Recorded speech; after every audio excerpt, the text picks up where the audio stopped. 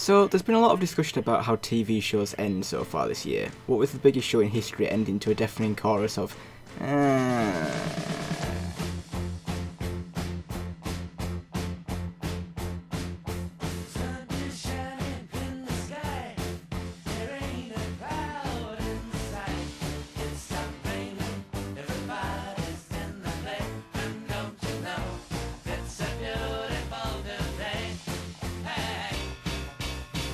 Alongside this, many shows on streaming services hold an uncertain future, getting cancelled and picked up by other services and then getting cancelled again.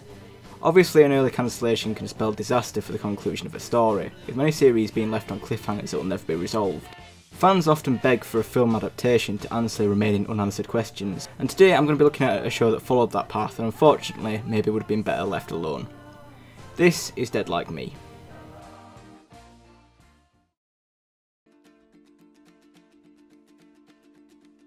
The series incarnation of Dead Like Me follows 18 year old Georgia Lass, who is killed by a toilet seat that fell from space on her first day of work at a temp agency.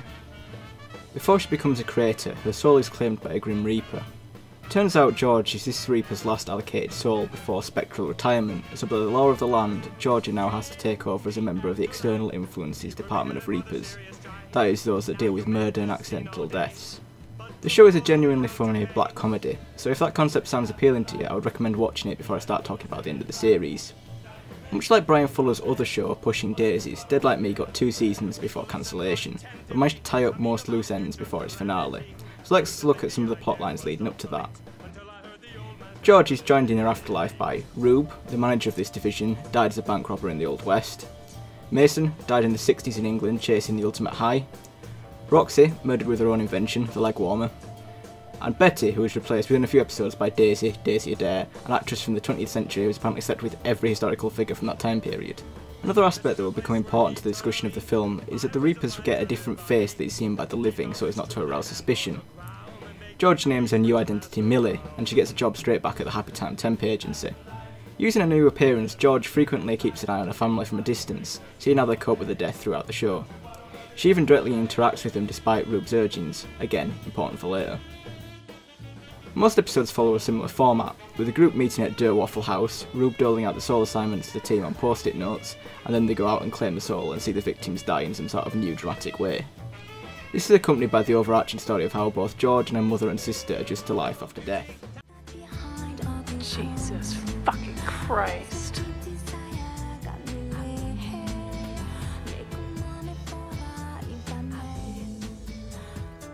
And so on to the finale of season 2 and the show in total.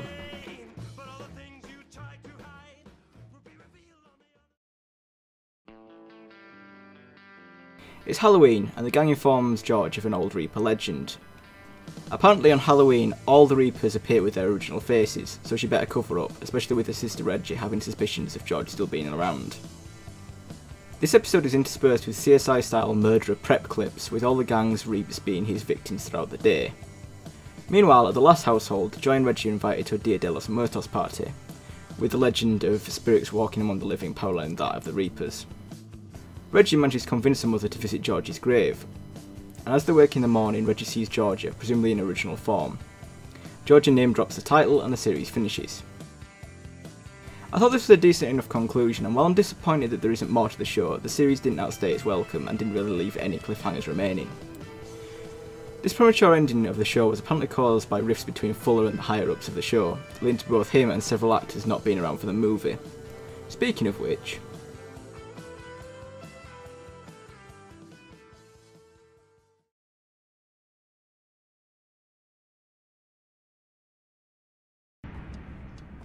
Welcome to the afterlife, Mr. Gregor. Sorry about the last minute reaping, but we don't normally do suicides. So I wasn't sure you were our man until the last second. I don't care. I won. I finally won. yes, you did. The jackpot.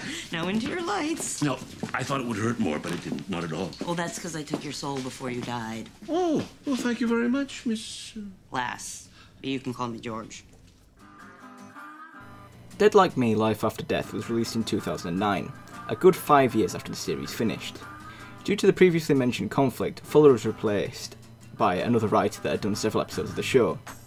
Sadly, Fuller is not the only person missing from the crew. We start off with a brief recap of George's life and afterlife and how death works in this world. The old crew is still here, greeted by the sight of their Waffle House now being a smoking ruin. Well, at least the cast is all here.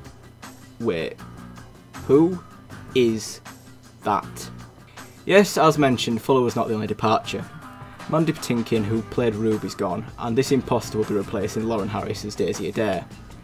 Besides been quite annoying for me, as I really liked Harris's performance in this role, it's just a strange decision all around. If Harris was unavailable or had walked out alongside Fuller or whatever, why not just have a new character and not have Daisy in the film?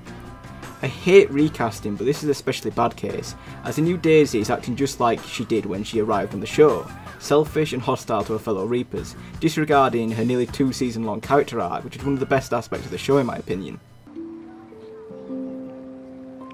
Do me a favour and. And I tell him I'm pissed drunk somewhere in a gutter.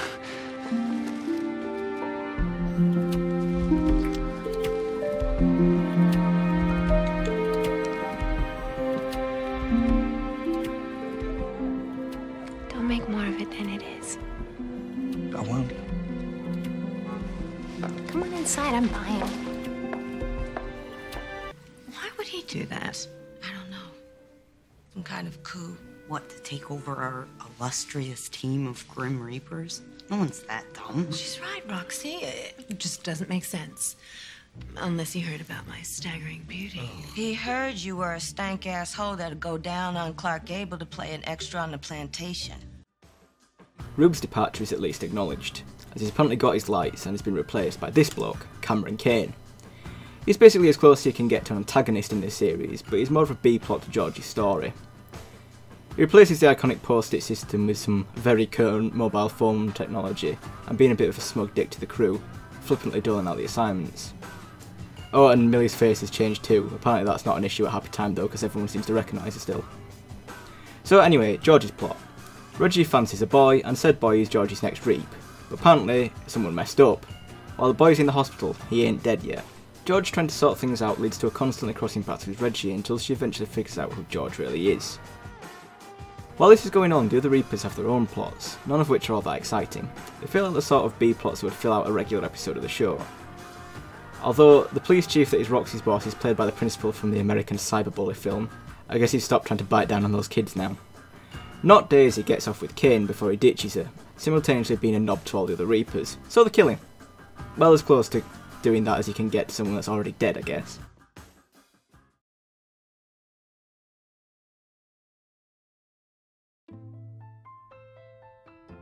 Meanwhile, the sisterly reunion continues, and it's definitely the best part of the movie.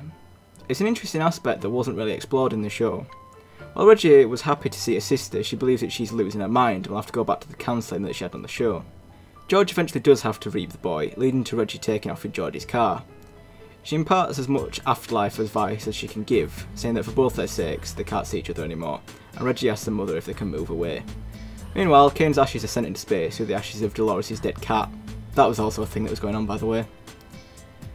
As the remaining lasses move away, George is suddenly showered by post-its falling from the sky, and a song that was used frequently in the series begins to play as we fade out to the credits.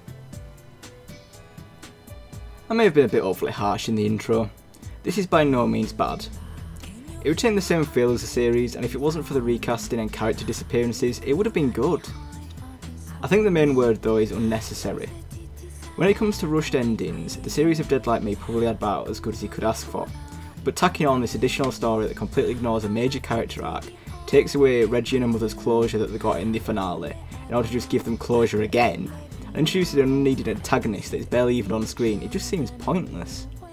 It's a letdown when it revived a show that I loved that was cancelled when, ironically, it still had life left in it. I guess my point is that sometimes it's better to be left wanting more. And during the process of writing this script, news is broken that Breaking Bad will be getting a film that follows on from the series, which is a concern with the series being pretty much the poster child for the perfect way to end a show and now stays welcome. By the time this video is released, more details will have come out, hell, the film itself may have come out, and I just hope it's not a letdown. Because if it is, it doesn't just affect the movie, it affects what came before too. As viewers, we need to accept that shows and franchises sometimes can just end, because overexposure is worse than cancelling it ahead of time. Sometimes a property just needs to be left to rest in peace.